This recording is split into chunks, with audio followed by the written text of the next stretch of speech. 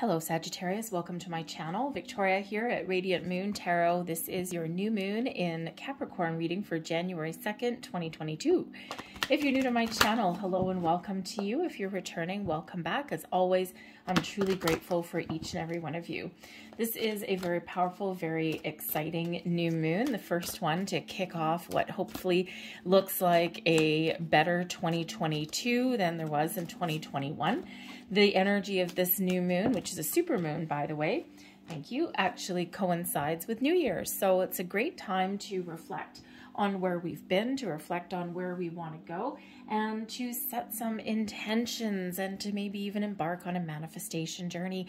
Sag, this new moon lands in your second house. Your second house is ruled by Venus and Taurus.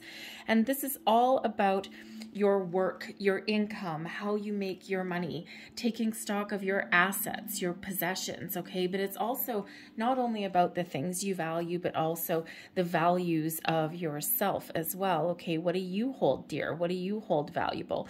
Okay, this is also where your habits lie as well, okay? So some of you, that might be your focus that you're really focused on, okay? Your material uh, prosperity, uh, the things that you hold dear, the things that you hold great value in. It doesn't have to be money, that's for sure. Okay, also your habits and things. All right, so let's see what we've got for you guys. All right, we've got the Queen of the Moon and we've got Sovereignty. This is beautiful. This really does show and really does bring in the energy where you are the ruler of your own life. You're taking charge, you're taking control. All right, you've got sovereign reign Hmm. over your goals and your dreams. You have the ability to make change if that's what's required. This is card number 41. Fours have to do with work, home stability, a good solid foundation. Ones are usually exciting new opportunities to make improvements or to start something brand new Of course, you put those together and you get a five. And so some of you might be ushering in some big changes in 2022, or you're just looking to do something a little bit different, a little bit better. But the Queen of the Moon shows that you have control. Okay, it's bringing you this confidence that you need okay, to get things done or to initiate some sort of change. All right, maybe even get out of your comfort zone in some way.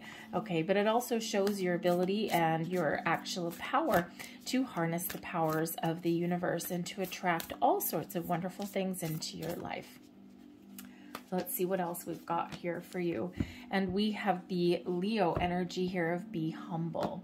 Actually, it's weird because the song I've going through my head is I don't even know who sings it. It's like be humble and kind or something. Anyways, I don't know. It's kind of weird. It was in my head before we uh, started this reading, and maybe this is why. So be humble Okay, uh, humbleness is a little bit of a lost art sometimes, right? I mean, you know, we've got social media, we've got Instagram and things, and we've got all of this, you know, instant gratification and all of these things. But, you know, the thing is, when we have this deeper appreciation for things and understanding that we are a cog in the universal wheel and that everything is really um, attached. And when we give thanks and we express our gratitude for things and we enter into this energy of being humble, being kind, um, this uh, kind of humility. Um, uh, kind of energy. Okay, it's actually really tapping into our feminine side, right? The queen of the moon, uh, the queen of the moon energy is that divine feminine energy, trusting your intuition, going with the flow, being open and receptive, taking charge of your situation, and being able to attract the things that um, make you feel strong, powerful, and secure and stable, but living in the energy of grace and gratitude, of being thankful, of knowing, of not being, um, how should we say, not being entitled. And sometimes, you know, we do talk about these days, there's a lot of entitlement that's around the world. And yes, while you, everyone is deserving of all of the bounties of the universe that there is to offer, okay, we do need to be thankful. We do need to be graceful and we do need to express that gratitude for it just because we think we deserve it, okay, or just because we think we're entitled to it, all right. That's not exactly the best vibe to be putting out there, shall we say, right? And sometimes we need to work, sometimes we need to work hard for things, sometimes we need to put in our, uh, pay our dues so to speak, okay?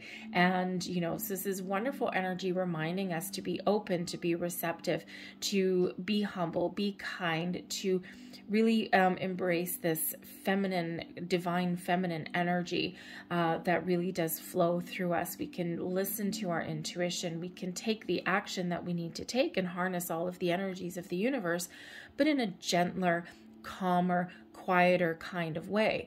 Okay, but when we bring in the Leo energy, all right, yes, Leo, kind, compassionate, all of those things, but Leo is also courageous, brave, and perseveres to overcome um, obstacles and challenges and also knows when to take action on things as well. All right, so it's a quieter kind of uh, a quieter, gentler energy, okay, but also one that has that underlying passion, okay, and that ability to take action when you need to. So it's like a little bit, I don't know, I'm getting like a little bit of a balanced energy that's coming in here. A little bit of discernment, a little bit, right? Knowing when to take action, knowing when to be fierce and when to be brave and when to power through, but also when to take that um, quieter, calmer approach to things. Be thankful be graceful, be humble. So let's see what other energies are coming out here for you. We've got peace, ghost, success, nice. And we have intuition. Okay, there we go. All right, all right, that open receptive energy, that moon energy that comes in asking you to pay attention to your intuition all right, to when you get the things that you're wanting to attract, right? When you have that success, be humble, be graceful, be thankful. All right, so what are we releasing? Anything that prevents us from finding our peace, our inner peace, our outer peace.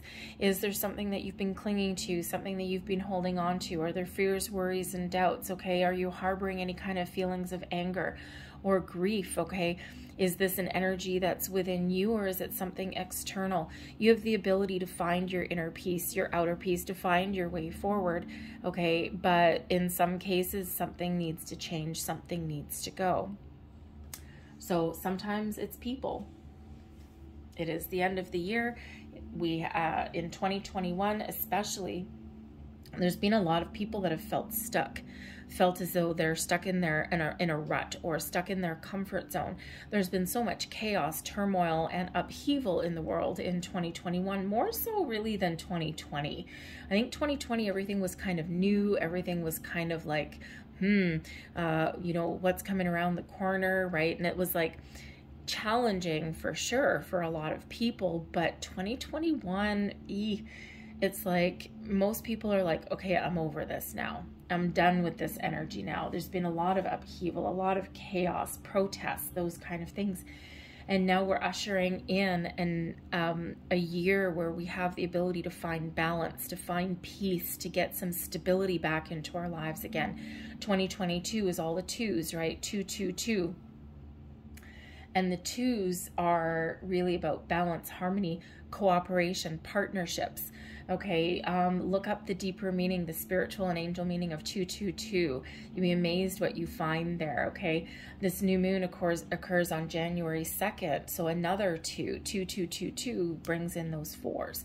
Okay, so it's a six year and this new moon lands on a four. Okay, so this stability, security, it's like it's like all of the chaos, all of the disruption that occurred in the last two years everything's kind of like settling down a little bit in 2022. All right, will it take a while to come in? Most likely. All right, but there is that huge light at the end of the tunnel. We are seeing the possible finishing line of things. Okay, so you know, this peace energy is trying to come in here, all right, and but it does invite you to take control, to have that sovereign reign over your situation, over yourself, over your energy, over your outlook, over your way of doing things, your 3D situations, right? Your um, personal relationships, your workplace relationships, right? All of these things. And whatever is inhibiting you from finding that peace that you may be looking for or finding that calm energy, all right, this is what needs to go. This is what's being released. And it could just be this beautiful release of all 2021. It's like, thank you very much, 2021 go away. Okay, not interested in seeing you or hearing about you anymore. All right, and so maybe some meditation, right? This be humble energy. This person is in quiet, calm meditation. Okay, the queen of the moon energy, the sovereignty comes in with this peace, this open and receptive energy to follow your goals and your dreams, right? And to maybe even get out of your comfort zone a little bit, but let go of those lower vibe energies and bring in the new. What to be aware of going forward is the ghost energy. Sometimes along our trek, sometimes along our journey, okay, um, little ghosts from our past come up.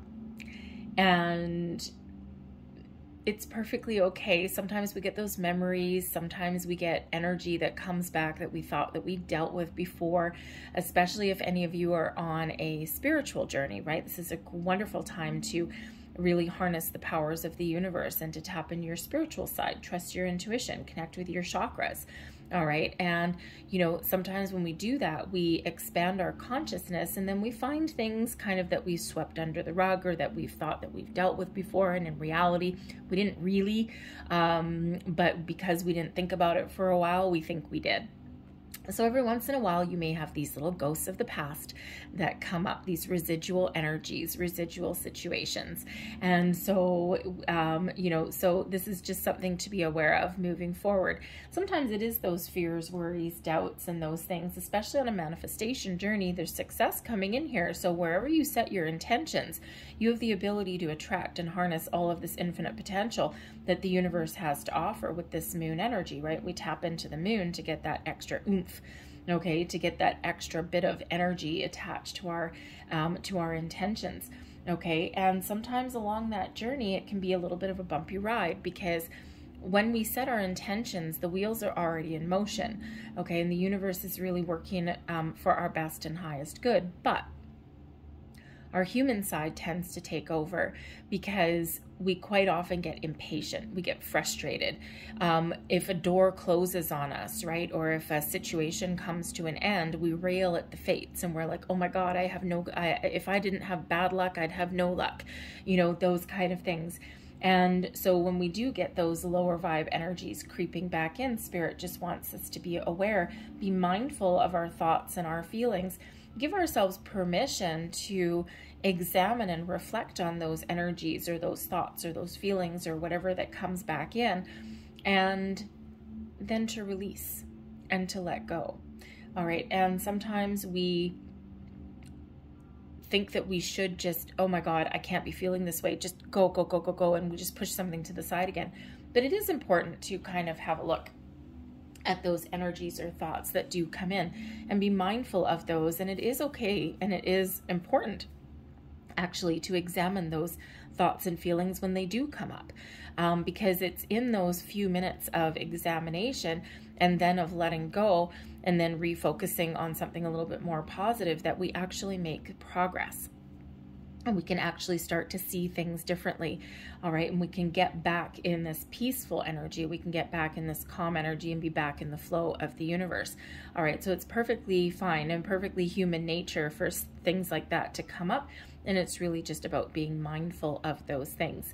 All right um for some of you there may be with the ghost energy i gotta tell you okay um in the months ahead okay or at least in this month all right there may be somebody coming back into your life and I don't usually go down this road with these kind of readings because it's really all about the energy, but the ghost, uh, the ghost card there in that particular um, position in the spread really does invite talking about it. Okay, so some of you may have something coming back. Could be a person, could be a situation, may even be an opportunity. So you might have a choice to make. All right, you could have that you know, that ex coming back or something like that, right? The beginning of the year, I've done some deep thinking, I've done this and, you know, and all of these things. And maybe they're just coming back to get a little bit of closure, to make peace, especially if something didn't end well, okay? But they also could be coming back because they've made peace within themselves and they're ready to give something a second go, a second shot. The ghost energy can also indicate that there may be another opportunity that comes back around, maybe something that you thought that you had lost and maybe some or maybe something that you thought you had given up on or a connection that never got off the ground, right? And before the pandemic, there was a lot of people out there that had made new connections and things looked a little bit promising. And then, boom, pandemic, everything shuts down. And it's like, well, I guess it's back to the drawing board. So some things never got off the ground. So in the months ahead, um, there certainly may be a second opportunity for something that never actually had a chance to start anyway. What you are ultimately attracting with this new moon is success. Perfect. What does success mean to you? Finding your inner peace, um, learning things about your about your life, your situations, gaining control over your life, having sovereign reign over your life, so to speak. Okay, is it clearing out any old ghosts from the past? All right, is it attracting new opportunities or making improvements in your life? Whatever it happens to be, success is what you are attracting in here, Sag. Okay, and I'm not going to really dwell too much more on that because success means something different for absolutely everybody. Okay, new jobs, new loves, new relationships, networking, new opportunities. Okay, a new sense of self and the dawn of a brand new Sag okay those missed connections that come back in okay an increase in your money um, improvements in your relationships whatever that happens to be it's shining off of this uh, off of this table and it's shining right at you. So this beautiful energy of success is really shining down on you Sag. So this really does set the tone for the year for you and really is quite exciting okay? Your overall energy here, your overall outcome is to watch your intuition, to pay attention to your intuition. Some of you have been on an, a journey of spiritual expansion, spiritual growth. Your crown chakra is open, okay? Your third eye is open, your heart chakra is open, all of these wonderful energies, and your intuition is at an all-time high. You will know when to take action. You will know when to let something go. You will know when to sit back and just go with the flow of the universe. All right, your intuition will guide you, will lead you the way, and will never, ever, ever lead you astray. Those times when we say, oh, hindsight's 2020, I knew I should have done that. That was your intuition talking originally, and then your brain took over and said, no, no, no, no, no, we can't do that. No, no, no, no, no, we got to do this. We got to analyze. We got to do this and we always go back and our intuition was never wrong. It's that hindsight energy. But imagine if you trusted your intuition right out of the gate. You would never have to use those words hindsight's 2020 ever again in your life. Takes practice though because we are quite often taught to analyze to have things in a structure to do all of these things instead of trusting our intuition. Everybody has it Okay, so exercise it, use it, tap into it. Okay, you've got this deep connection with the universe. Okay, the ability to attract in all sorts of wonderful energy into your life. Okay, but not just at not just at this new moon, but also going forward as well. And it's beautiful and it's uplifting and it's just giving you that guidance, that internal guidance, that spiritual guidance that you maybe didn't even know that you needed or were looking for. So. Let's get a couple more cards out here for you. Last messages, please, for Sag. Oh, and I just realized, yes, this new moon is landing in your second house as well. So twos might actually be really important for you. Second house, second day of the month in 2022. So five twos are really being affected for you um, in this new moon. So look up the spiritual and angel number, angel meaning of those five twos, two, two, two, two, two. You will get different messages and you will get further guidance when you do that. So let's have a look and see what else we've got here for you. We've got peace energy coming out again. Okay, and this is card 26, twos Huh? Hello, twos, and also six. All right, six is the year. 2022 is a six year. So this is bringing you peace, balance, enlightenment. This is giving you the ability and the energy and the opportunity to dissolve unwanted and disturbing thoughts, to find that inner peace, your path to healing, personal growth, attaching, um, you know, uh, connecting with your intuition, with the energies of the universe. Absolutely beautiful energy coming in there for you. And then we also have number 14. 14 actually relates back to what? Temperance card. What is the Temperance card? The card of Sagittarius. All the stars really are aligning for you here, Sag.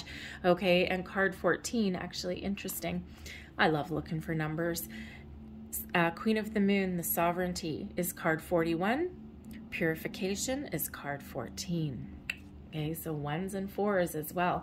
All right, and so the purification fire, this is showing you um, that you have the ability to get back to your true self, your true soul, who Sagittarius truly is, to understand who you truly are, what sparks that fire within you, what gives you that passionate connection, what do you want to achieve, anything else, okay, that is not part of moving forward, not part of your future, you're letting go.